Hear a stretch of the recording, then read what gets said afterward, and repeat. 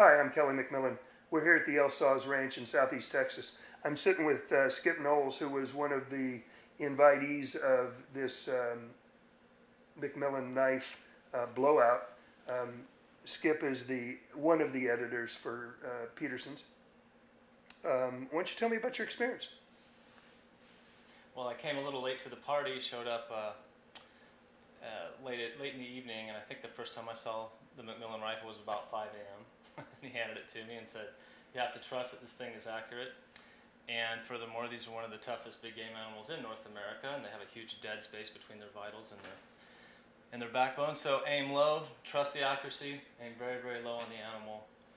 Go as low as you feel comfortable, then go a little lower.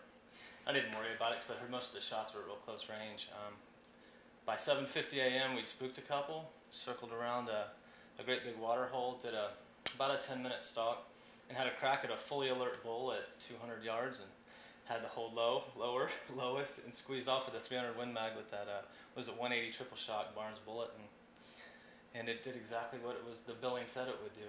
Yeah, he punched through both shoulders, went straight through the heart, and just as you said, as tough as they are, he still went almost 150 yards. So that was my introduction to the McMillan rifle, and I'd fired it one time at that point. was this your first nilgai? Absolutely, yeah. First one I'd ever seen actually was was that morning earlier. They're an interesting animal, aren't they? I hadn't been too intrigued with them honestly prior to that, and as, as I've gotten to know and understand and appreciate them, and how cool looking and tough looking they are, I really really enjoyed it. And I think you were using the Dynasty model. Uh, you liked the way the gun felt, uh, handled. Uh, everything was uh, good with that. Yes, I'm a big giant uh, recoil sissy, and that's well known in, in my circle of friends. So um, you said I, we, there's a lot of lip service paid to how much uh, stock styling can reduce recoil, and, and most of the time you can't really notice it most production rifles, and, and this one you really could. It was, uh, it was amazing. He had me out shooting the 404. I shot it three times freehand, three times over a bag, and it kicked about like a heavy 12 gauge load. Well, good. I'm, I was really happy to get to meet you and uh, spend time with you. It's been fun.